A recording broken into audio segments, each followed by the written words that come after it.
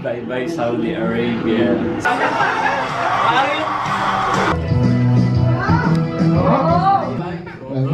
Kabila ng kanyang mga kabisihan, alam ko na dami-dami ng trabaho sa, sa opisina, but ang dami-daming gatherings na in-arrange po niya para sa atin.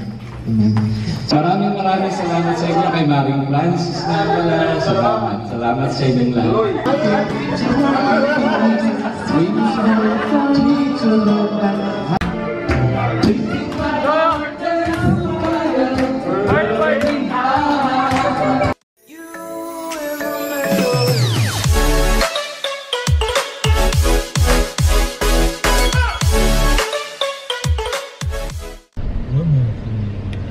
What's up mga boss? Ang dilim ko na naman. Yims here.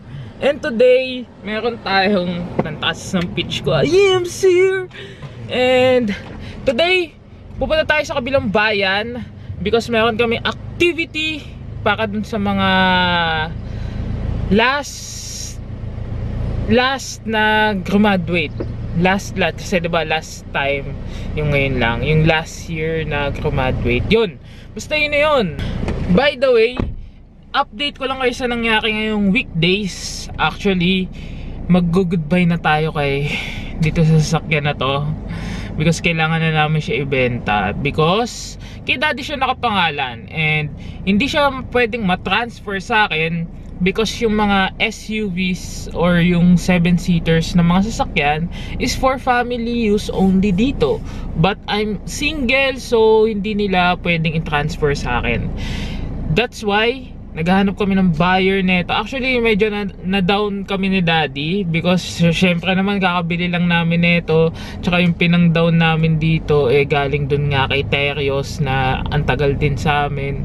So parang pinasa lang namin dito and now ganun-ganun na lang after 5 months magpapaalam na kami dito kay Innova but uh, last night nagpunta ako ng Kia because uh, nagtingin-tingin ako ng sasakyan and nag-inquire lang ako. And then yun nagsubmit na din ako ng requirements kinagabihan.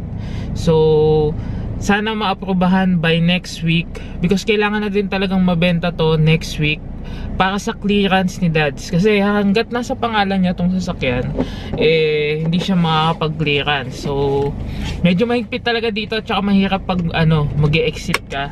Ang dami mo kailangan asikasuhin bangko yung mga electric bill na nakapangalan sa'yo kailangan wala kang utang and so on and so forth. Kaya medyo talagang si daddy pag nasa opisina minsan naalis tal ah madalas naalis talaga siya ngayong week da, para magpa-clearance lang.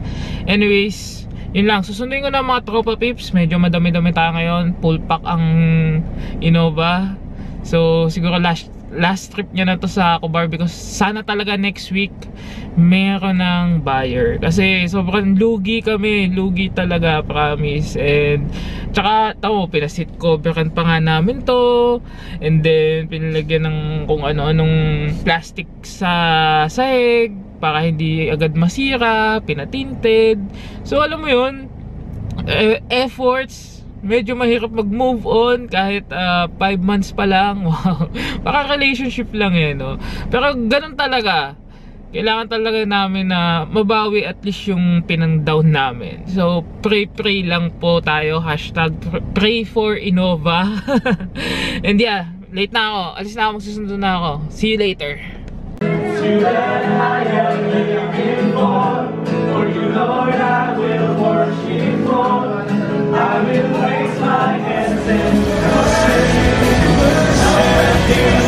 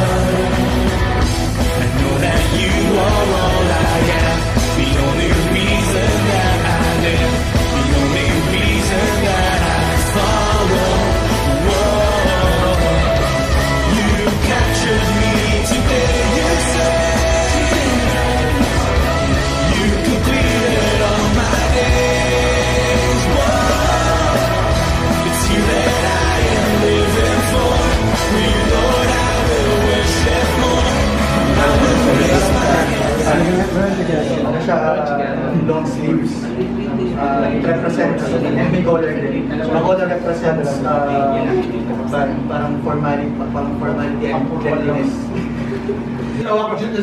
Kasi uh, ang Filipina na costume ay nagdidepict ng pagka uh, mahinhin ng ating mga Yes. uh, Kababaihan. kababaihan, tama. And then, uh, dinidipik din ito yung uh, tayong mga SFC na kailangan natin maging uh, respetado at uh, respect sa mga Kababaihan. Hindi. Sali! Sali! Ito yung ito yung tagasagot eh. Ito yun eh. Yan yun eh. Bilang Pilipinana ko, uh, isang Pilipinana, nire-respeto yan ng mga kalalakihan sa uh, ating and also So yun na nga. So, ang nilalagay ako, It's you that I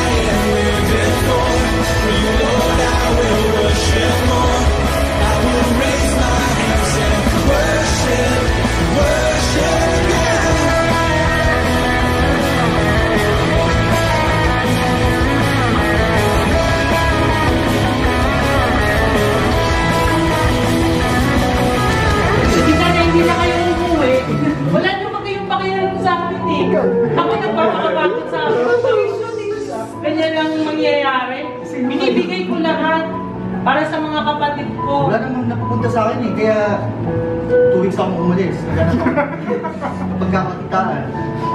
Kahit, di sana kahit man lang yung suporta nyo sa pamilya. lagi na lang ganyan. Saglit, roll ko yan.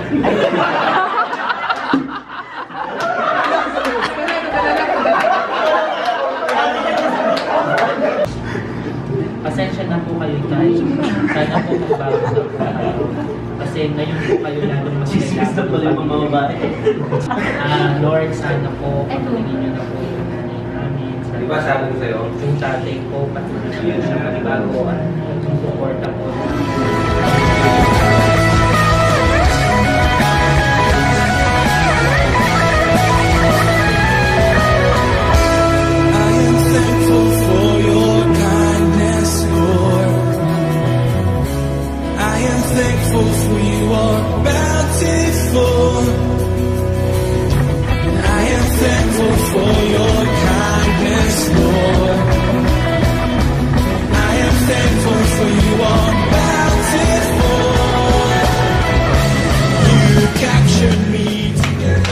Yun! After. After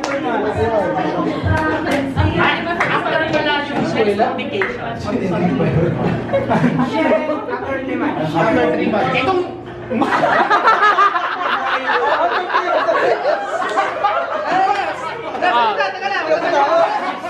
Amin yan, amin yan. After 3 months galing mo! After 3 months. Knock knock. Ready mo pa na to, boss?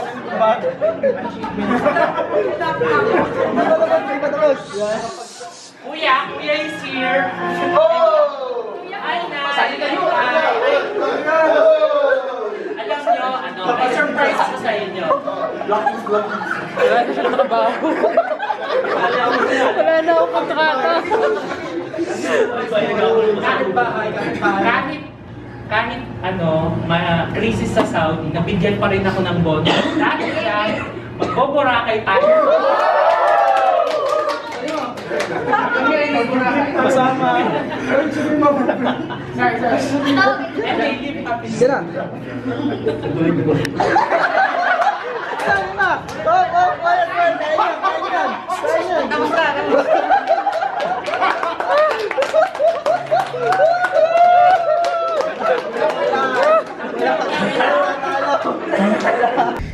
So, yun na nga po mga kaibigan. Actually, wala akong sali-salitang ginawa ngayong araw na to. Pero it's a fruitful, fruitful day and sobrang solid. Actually, kanina, nung pauwi kami, kasi may mga checkpoint-checkpoint dito. And for your information, it's Ramadan. Ramadan ngayon. So, may fasting sila ng ano, umaga ah, hindi sila kumakain. Basta sumikat na yung araw hindi na sila kakain hanggang sa lumubog yung araw. So pag palubog na yung araw yun pwede na silang or lumubog na yung araw pwede na silang kumain. And and nung pauwi kami mga palub palubog na yung araw nun doon sa may checkpoint may mga namimigay ng food. Ayan, may malamig na tubig to kanina tapos ah, cupcake at saka juice. Anim kami binigyan kaming anim and then yun nga after nun pagdating namin dito kumain lang kami sa fish market.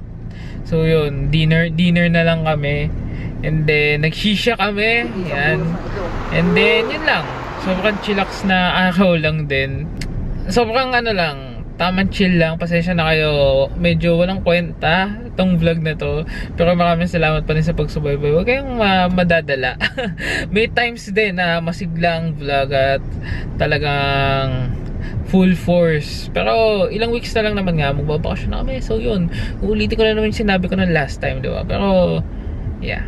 Good night na and bukas wala naman tayong lakad or something. Pero let's see Once again, once more, maraming maraming salamat. And kung meron kayong ideas or comments, medyo wag mo na ngayon yung mga challenges.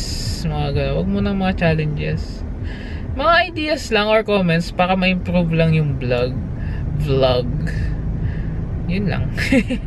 Comment nyo na sa baba. Once again, once more, maraming maraming salamat. Magpapahinga na ako dahil puyat pa nga ako. 2am na ako na kauwiin nga. Tapos gising ako ng maaga kasi nag-check ako ng mga stock-stocks, ganyan. Tapos sinusubaybayan ko yung ah, news sa Resorts World na yung pala eh, natalo lang na na ano din VIP doon sus naman grabe. Ang daming namatay dahil lang doon sa pinagkagawa ng mokong na yon anyways good night and see you guys. I don't know